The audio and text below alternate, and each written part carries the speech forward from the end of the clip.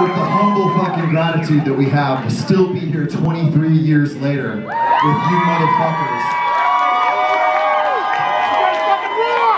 Still just as fucking awesome as ever. Thank you guys so much.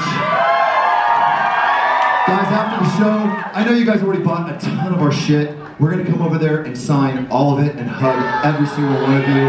Every fucking dollar you guys spend over there keeps us alive out here. It's so fucking hard right now. You guys fucking make this life worth living. Thank you so much. This is Blue Monday.